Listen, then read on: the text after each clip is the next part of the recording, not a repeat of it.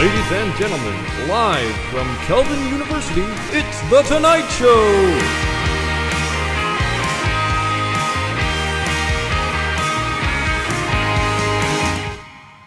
Hello, and welcome to The Tonight Show, where we are really feeling not having spring break last week.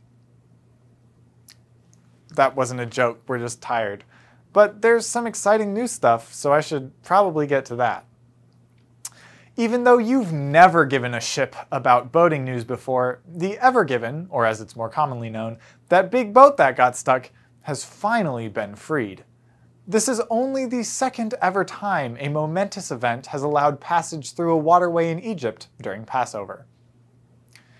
Disney announced the cast for the Obi-Wan series this week, and it looks like the hottest Jedi is coming back. And I'm not talking about Ki-Adi-Mundi. In addition to Ewan McGregor as Obi-Wan, Hayden Christensen will be reprising his role as Anakin Skywalker slash Darth Vader. Sam, you just ruined the movie. Adrian, the film came out in 1983. Still. Earlier this week, a squirrel broke into a church on Mackinac Island and destroyed a historic crucifix. We're hoping that the mammalian members of the Calvin community don't take a cue from their friends in Mackinac and go nuts and unleash their furry fury on campus. Finally, President Biden has doubled his vaccine promise, telling citizens they will be able to gather early in July. This means families will finally be able to get together for a barbecue and fireworks in order to celebrate the annual holiday that is July 10th, John Calvin's birthday. We'll be right back with an interview with Brent Williams.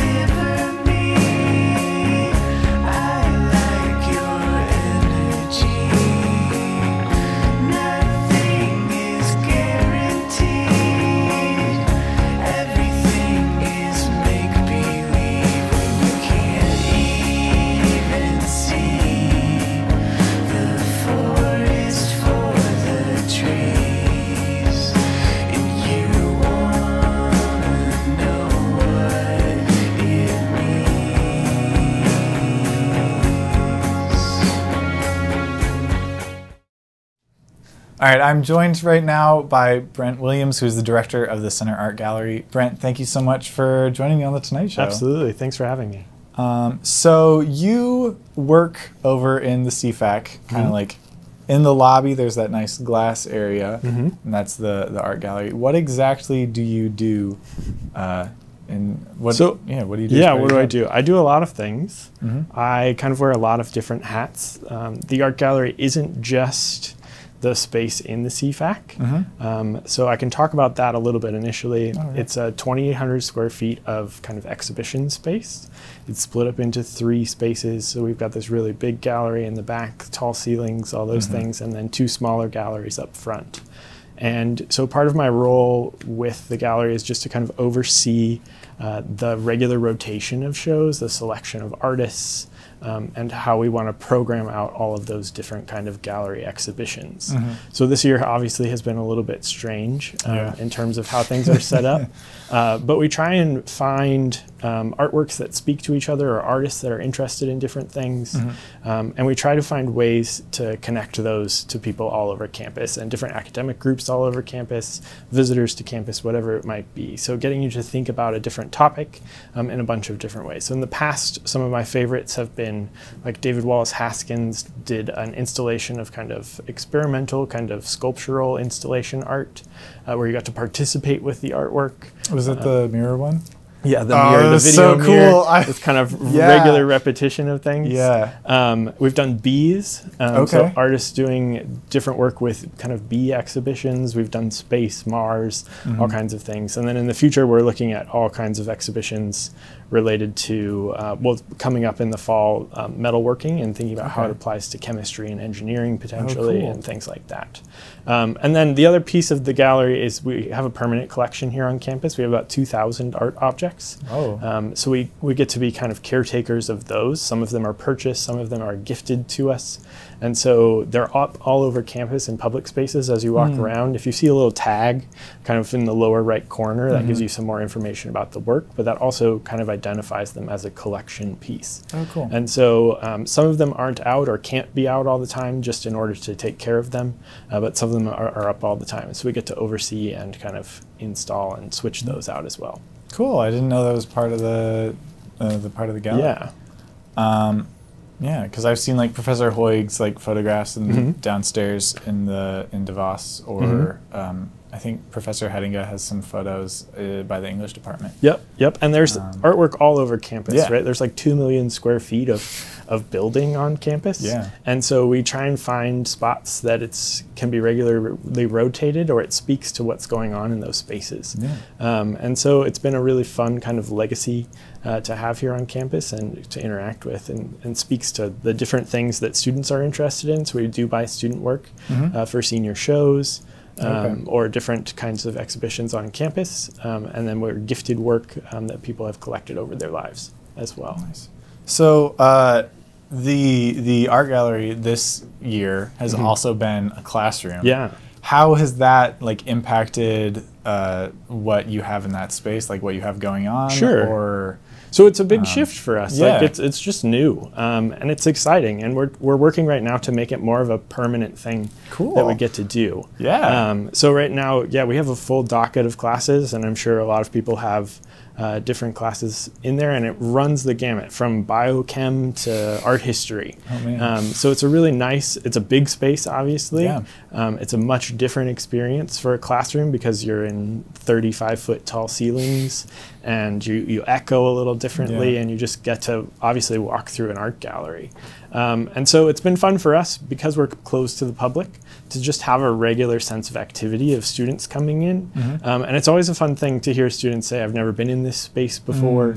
Um, but they seem to really be enjoying it in terms of getting to learn in this kind of new environment. And I know the faculty are enjoying it as well um, as they get to kind of participate with the art and just have this kind of new experience. Cool. Um, so we, we are, we're currently working on getting it um, kind of permanently set as a possibility. So we have flexible furniture that we can kind of roll in and out. Um, we'll have sound that more is permanently in there and projectors as well. Um, so we'll Cool. have those options and it'll be great not only for classroom settings, but also for gallery events, Yeah. um, different kinds of programming that we can do, uh, ways to think about what's possible in the space. Yeah. So it's, it's really exciting. That's that's really cool. It's like there's a kind of a warmth in that space Mm-hmm. that's not like in this space, for example, or like other spaces. I think just because of the the like the color tones of the wood and the lighting. That's Mm-hmm. For sure, and we get to control that and kind of manipulate it. That's the thing that's really exciting about the gallery is a bunch of the walls are just on wheels, and we can kind of roll them around and change the space for every exhibition, change what's possible. We've got full control of the lighting so that we can not only protect the work, but create different environments. Right. Yeah. So um, it's yeah, there's just lots of options, and uh, we hope people just kind of keep coming back. And um, we're trying to bring a lot of variety so that regardless of what you're interested in, there's something for you to look at, something for you to check out. Um, and I always like looking at things over periods of time. So rather than trying to see it all the first trip, just making kind of regular trips back so you get to kind of live with Yeah. them and exist with them. It's pretty exciting. Cool. So, uh, what do you have in the gallery right now? So right now we've got ceramic work up. Okay. Um, so two artists, Anna Greidanus, who is a faculty member here at Calvin. Um, she runs our ceramics program, and then Okay. she's also a drawing instructor. Um, and so she has a selection of her work. Um, and what it is for for Anna is kind of a preview. Um, she'll be doing another show uh, next year. Um, and so this was a way for her to kind of test the space since we don't have regular traffic. It could be a little more experimental Yeah. As she figured the space out. Um, and then uh, Rebecca Sweda, um, who is a Calvin alum, um, 2018 Calvin alum. And then she went and got her MFA in ceramics from Cranbrook on the east side of the state. And what she does is she was a double major actually, actually in chemistry and art here at Okay. Calvin. Um, so she's really interested in the science behind uh, the, the ceramics process, process. yeah. Um, but also, she's just kind of using some of those different knowledge bases to kind of inform her work. So she's been throwing these forms and then uh, slicing the front edge off of them to Okay. kind of reveal the complexity of the thrown form and give you a slightly different uh, way of thinking about it. So uh, they're in these kind of fun groupings that, for you to kind of interact with and see. She was on campus uh, about a week ago, week and a half ago, Okay. and she gave a talk for the chemistry department, uh, talking about her experience of chemistry and art and how they merge. Cool. Um, and got some into the like really hard science aspects, but also just thinking about kind of the process and how they kind of interplay and, and connect to one another. Cool. So, yeah. Nice. Um, and then, what are you like looking forward to? Uh, what do you got coming in soon? Or? So the well, let's think about this. So the big thing that we have left this year is our senior show. Mm-hmm. Um, those will get installed at the end of April, and they'll be up for two weeks leading up to graduation. Okay. Um, just as a way to kind of celebrate our seniors, celebrate the work that they've been doing. Mhm. Um, so we take the whole gallery down, kind of clear it, set the artwork up, um, and get it ready to go. Um, and so we're really going to try and encourage students to make a, a walkthrough of the space, get to see those space, and celebrate um, our students. And then we're already planning for next year. Um, so a metallurgy. Um, uh, two gentlemen, one who lives in West Michigan, and then his his friend, uh, one of his best friends. They do um, a series of like raised vessels and forms Okay. out of metal. Um, but they have a tendency to just mail things back and forth to each other, um, and they work on it, and one works on it and then mails it back, and, and then the other one works on it. So it's kind of That's a fun way of thinking about it. Yeah. Um, the forms are really cool. Um, it's just really kind of exciting vessel forms. And then we're still kind of figuring out what else we want to do next year. We've got some options, and we're, we're trying to figure out how the new schedule plays into what we do in the gallery, Mhm. how we program around it, yeah. um, all of those pieces. So lots of exciting things coming. Um, and yeah, we're, we're just kind of pinning it down right now as we speak. Cool.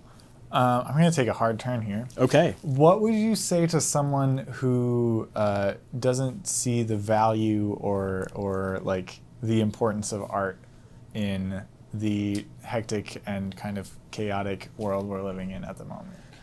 Wow, that's quite a question. Yeah, it's a big So- question. for Don't sure. feel like you have to answer all of it. For sure. Well, I'll tell you a little more about right. myself as a way to kind of frame this Mm-hmm. um, so you get my background.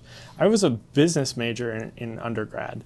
Um, and I was, it was something I enjoyed. I kind of enjoyed the process of the business degree. Um, so it was business major with a computer science minor and an art minor. Okay. Um, and it's really kind of a quirky mix of things. Yeah. Um, but I really enjoyed the kind of creative aspects of art, um, of, looking, of thinking about things, um, of just seeing.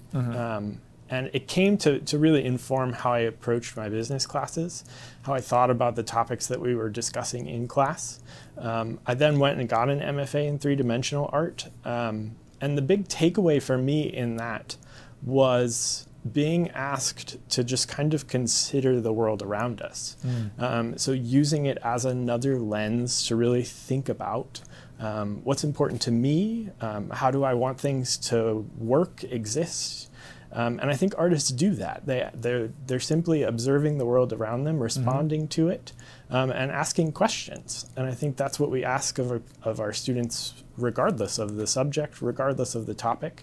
And so, art for me is just a really kind of nice physical embodiment of that, that exploration, um, of that kind of liberal arts learning and connecting and uh, exploring. So, that's, that's kind of how I approach it. Well, Brent, thank you for uh, joining me here on the Tonight Show. It's been real fun to get to talk to you. Thanks for having me. Yeah. Uh, we go now to our musical guest for the week.